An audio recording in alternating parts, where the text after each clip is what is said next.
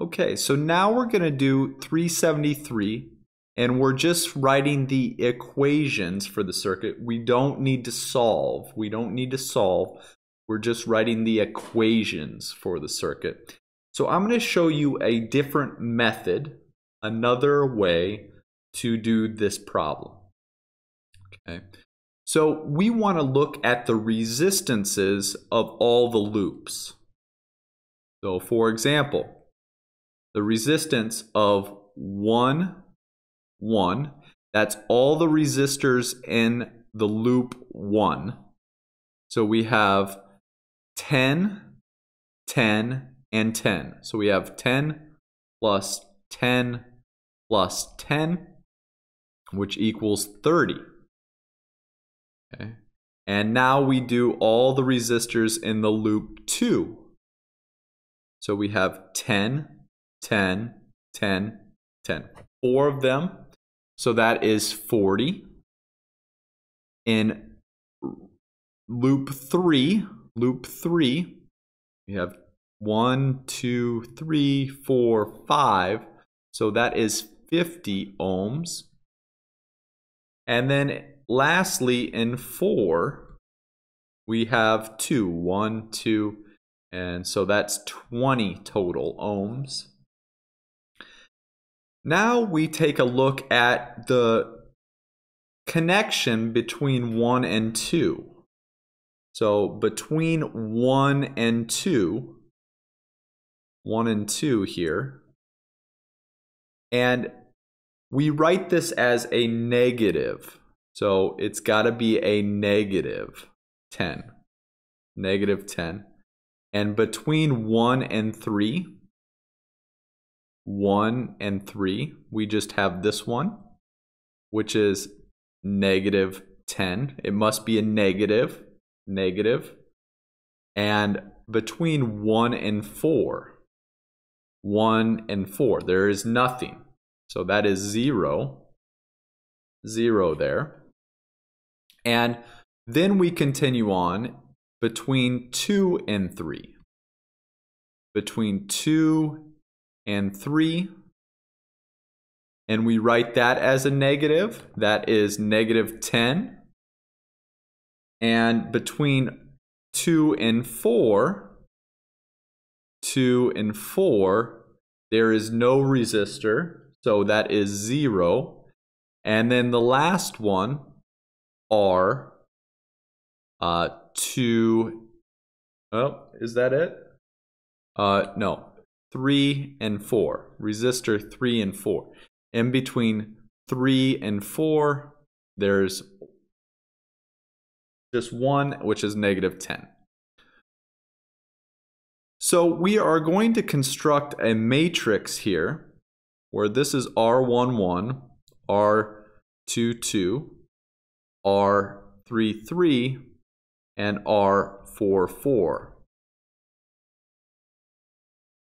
And this is R12. This is R13, R14, and R21, R31, R41.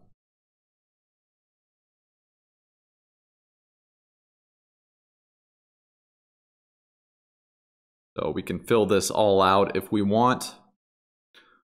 Uh, 2, 3, R, 2, 4, R, 3, 4, R, 4, 3. Okay. All right. And then if we multiply these by the current I1, I2, I3, and I4, right? We have, remember, V equals I times R, and this is equal to, then, we have the voltage uh, 1, V2, V3, V4. Okay? V equals IR. So if we take a look at this here, V1 is 15. So we put 15 in for V1. 15 in for V1. V2, V2 here, we put in, we have, if we go around V1, it is po it's negative 10 or positive 10 and negative 10. So 10 minus 10 is 0. So that is 0 here, 0 And V3, we have negative 10 and negative 15.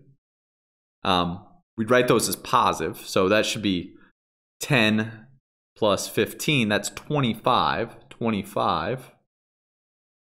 25. 25. So that's positive 25. And then lastly, it goes from positive to negative. That is a negative 10. Negative 10. So negative 10. Okay. And we can, these over here, this is equal to R, R21 and this is equal to R31.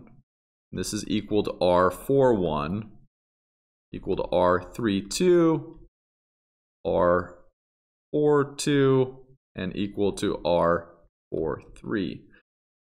So we can fill out this matrix now. Let's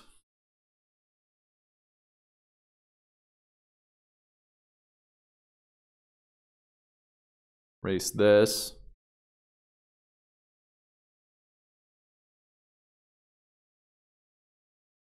Okay, well. Okay. So we can fill this out. So we have 30, negative 10, negative 10, 0, negative 10, 40, negative 10, 0, negative 10, negative 10, 50, negative 10, and then 0, 0, negative 10, 20.